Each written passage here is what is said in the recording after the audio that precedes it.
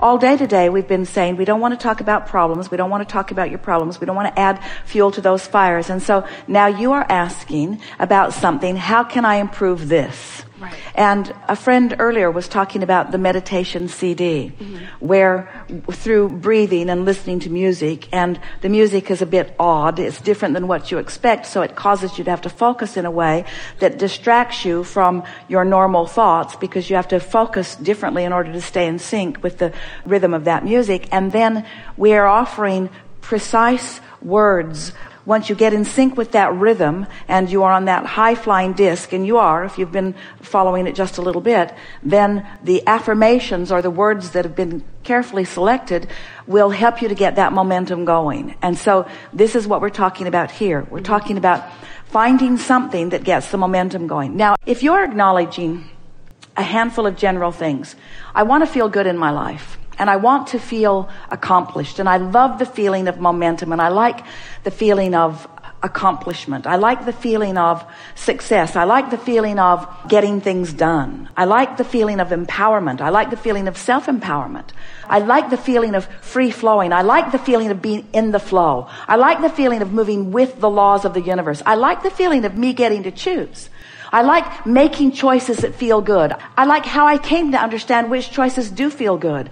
I love my guidance system. I love knowing that I'm eternal being. I love knowing that the larger part of me is spinning in this very good feeling high flying vortex. I like knowing that all of that is available to me. I like knowing that I get to make choices. I like making choices. I like making all choices. I like making the good feeling choices and I like making the not so good feeling choices because that helps me to define what the good feeling choices are. I really like being a creator here in this physical environment. I like finding things that interest me. I like playing them out to find out how interesting they can be. I like withdrawing my attention from things that don't feel good. I like not increasing my interest on things that don't feel good. And I like increasing my interest or my momentum on things that do feel good. I like the world that is around me. I like getting to observe others. I like observing people in their high flying emotions and in their not such high flying emotions. I like watching law of attraction responding to all of us. I like knowing how it works. I like the stability of this environment. I like knowing that I'm the creator of my own reality. I like deliberately applying my thoughts. I like feeling the momentum of a thought. I like staying focused upon something and feeling it moving faster and I like withdrawing my attention from it and feeling it slowing down. I like discovering the actual law-based tenets of momentum. I like withdrawing my intention and feeling it peter out. I like thinking about things that I used to think about a long time ago that I rarely think about anymore. I like realizing that there are many problems that I used to have in the past that I've left way behind just by lack of attention to them. I like recognizing that there are some problems that I keep active in my environment because I keep them actively focused. I keep choosing discs that on. I love being a deliberate creator.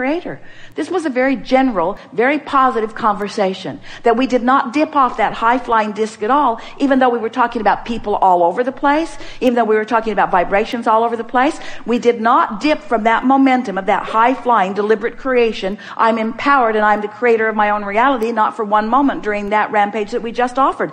That's the way that you close the gap. That's the way that you keep the momentum going. You don't try to stop negative momentum. You get positive momentum going until the positive momentum just takes over everything that you are. The positive momentum begins to be who you are. And so the thoughts that occur to you because of the positive momentum, you wake up in the morning and the positive momentum from yesterday just sweeps you right there. And it doesn't matter what anybody else is doing because they don't bring you down from that positive momentum after a while because you've practiced it. You've got the momentum of it going so much. Don't you know people who are stable no matter what, that it takes really a lot to take them off of their stability? Well, that's who you mean to be, you see. That's who you are. And your inner being is always there. That's who your inner being is for you. Your inner being never leaves that high flying disc and your inner being never takes its attention off of you. Your inner being never stops focusing upon all that you've become and all that you want.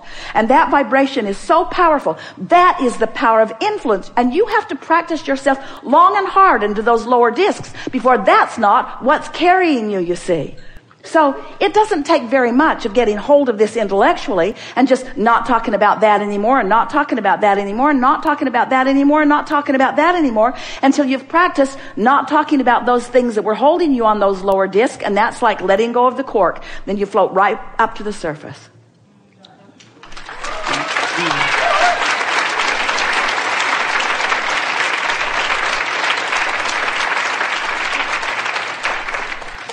You see, as we've been talking about this emotional scale, and let's say you're in depression, that's a, a real exaggeration.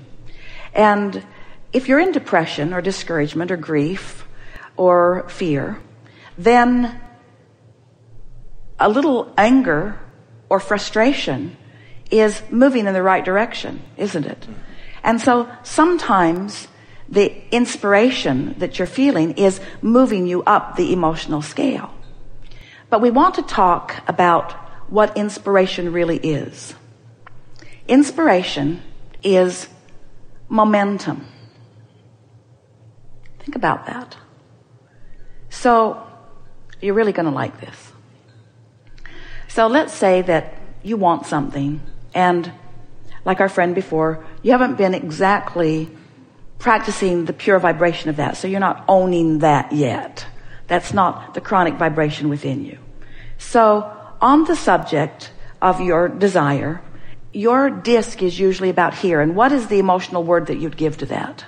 Well, the more you think about the thoughts that make you feel that way, rather than just getting off the subject altogether, the more you give attention to it, and that's where it is, the more you give attention to it, and that's where it is, the more you give attention to it, and that's where it is, the more momentum picks up until you feel compelled to act. So the question isn't, did I get inspiration? Yeah, you did. The question is, from which disc did the inspiration come? That's a new insight that you have not understood before. It's sort of like a friend was talking in the hot seat the other day about his behavior in traffic and how the more he focused, the more the momentum goes until he's shouting at people he doesn't even know in traffic and feeling inspired to do so. so the inspiration is just the momentum, you see, where we know that you think that inspiration is always coming from source. And we say, in essence, it is because it's pulling you upward, upward, upward, upward, upward. In other words, there isn't anything like getting momentum going on what you don't want. There isn't anything better in the fact of getting momentum going on something you don't want than that it shoots off rockets of desires, which gets more momentum going about what you do want. So there's this momentum in the vibration of what you really want, and there's this momentum of where you are, and whatever vibration you're focused upon is what momentum is being called from you. Did that make sense? It's a little jumbled. We'll say it again. Whatever you are giving your attention to is where the current active vibration is within you. And the longer you hold your attention upon that, the more momentum will be there. That's why we say get out ahead of it. That's why we want you to go to bed at night and to think about tomorrow being a really good day. It's why we want you to wake up in the morning and focus upon what a nice day it is with the effort being to keep that momentum going. And then we want you to be aware of what disc you might dip to so that if you do take a dip that you catch it in the early subtle stages within 17 seconds so that you don't let that momentum get going. But for most of you, you haven't been aware of these emotional grid discs and you haven't been aware of the momentum that you may have going. Don't you have those experiences where there's something that's just stuck in your vibrational craw? It's like an issue that you've got going on and you find yourself thinking about it quite often and speaking about it quite often and others around you speaking about it quite often. And it's because that's where you reside a good deal of the time. Well, it does not have to be that way you could start doing a better job of choosing higher vibrational discs early in the day and you could train yourself over a period of about 30 days into mostly being right there. And we want to say to you, whatever it is you've got going on, that's who's jumping on with you. In other words, you're moving through life. You've chosen for this moment in time what grid disc you're on, what spinning point of attraction you're on. And as you're moving through the world, those around you in your vicinity who match where you are are jumping on with you. Those are the waiters you're meeting. Those are the people that check you into hotels that you're meeting. Those are the people that are giving your airline reservations. Those are the strangers and friends. Those are the thoughts from families and lovers. Those are the ideas out of your own mind that are jumping on. In other words, what's jumping on always matches what you've chosen. So to talk about what to do after you've chosen it and after you've got the momentum going is kind of like the long, slow, hard way of going about it. A much faster way of going about it is pick a disc. And if I find myself on a lower disc, take a nap. And when I wake up, pick a disc. And if I find myself on a lower disc, take a nap. And when I wake up, pick a disc. And if I find myself on a lower disc, take a nap. Or meditate or do anything that I can to help me pick a disc. Pick a disc. This is what getting out ahead of it is. Pick the disc first. Give it everything you've got. Watch what law of attraction yields to you. And then you might very well find yourself in another step one moment where you're launching another rocket of desire, where you're creating another vortex version of what you want. So all day long, this is what we want you to think about. What disc have I chosen? What disc have I chosen? And what momentum is ensuing?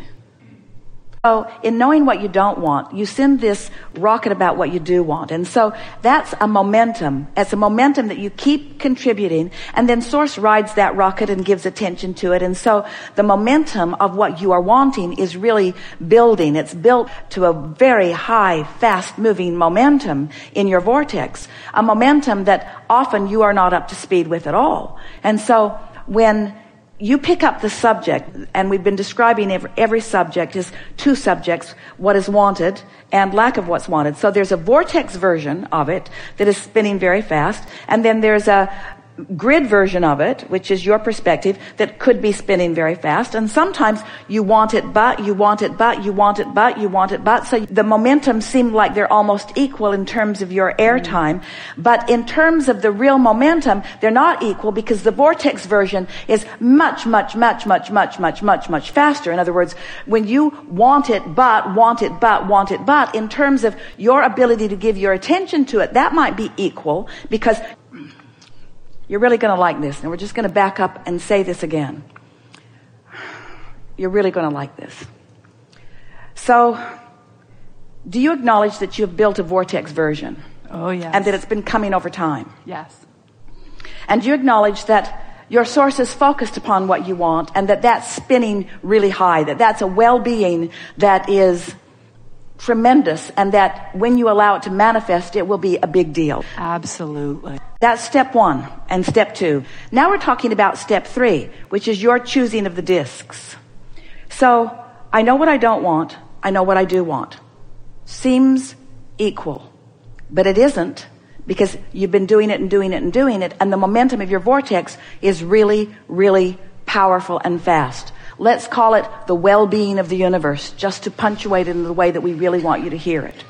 It's huge. And when you stop doing that thing you do, then you'll move right into that. In other words, when you stop holding your cork under the water, it will flow right into vibrational alignment with all that that's in your vortex. You following us so far? We've been talking about that for a while.